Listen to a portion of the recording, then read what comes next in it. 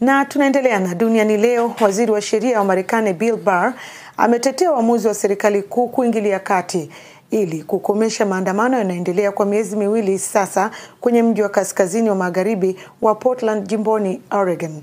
Barr alikanusha tuhuma za Wademokrat kuwa aliweka mbele maslahi ya Donald Trump kuliko kuheshimu utawala wa sheria wa Marekani.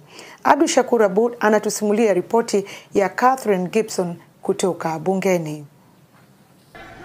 Maandamano yanayoendelea kwa miezi miwili sasa huko Portland yamepamba moto wakati wa usiku, kukiwepo na mapambano kati ya maafisa wa usalama wa serikali kuu na waandamanaji nje ya jengo la mahakama ya serikali kuu. Kuwepo kwa maafisa hao wa serikali kuu na kutumia nguvu kutawanya waandamanaji na kuwakamata watu ndio imezusha utata mkubwa na kutetewa na mkuu wa sheria wa serikali hapo jana mbele ya kamati ya sheria ya baraza la wawakilishi bungeni. Kile kinachofanyika usiku nje ya jengo la mahakama ya serikali kuu. Hakiwezi kusema ni maandamano, mali ni mashambulizi dhidi ya serikali ya Marekani. Katika miji mikubwa hapa Marekani, waandamanaji wamekuwa wakilalamika dhidi ya ubaguzi wa rangi ndani ya mfumo wa utawala wa polisi ambao bar amekanusha kuwepo. Idadi ya watu weusi waliouawa na polisi kufikia sasa ni nane, lakini idadi ya wazungu waliouawa na polisi katika kipindi hicho ni kumi na moja. Idadi ya mauaji yanayotekelezwa na polisi kwa ujumla yamepunguka.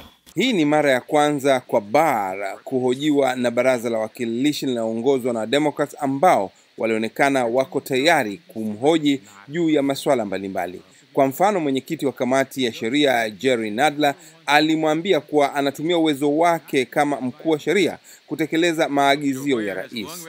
Wademokrats wengi wanadai kuwa Barr anatumia vikosi vya serikali kuu kwa malengo ya kisiasa kutokana na uaminifu wake na rais na kujitayarisha kuelekea uchaguzi mkuu wa mwezi Novemba, kama anavyoeleza Nadler.